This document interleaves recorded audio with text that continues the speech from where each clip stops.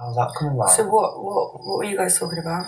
Oh my I goodness. like Liv pulled me, um, and I said, "Look, Even I, the way she pulled you, I just thought it was rude.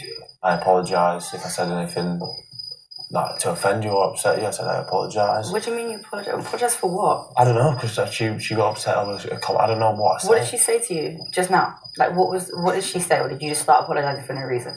Oh my I'm not goodness. apologising for no reason, but obviously I, I must have upset her about something. Why is she upset still? I just feel I like don't- I she's don't- I just so. longing it out. Like Oh my you and me can just be in here and just do us. I don't understand why she's still involved at mm. all, at all.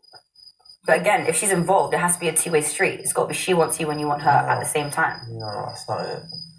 I think you know where I stand with you. Yeah, but it's just pissing me off because she's making it seem like I'm stealing her man. Tom Jarring, Run. Tom. I thought it wasn't a triangle. I'm not on it. It's not a triangle. So what is the issue? I thought it was done, and it's clearly not. So what is going on? Obviously, I said what I'd said. Like I didn't want to shut that door completely. Okay.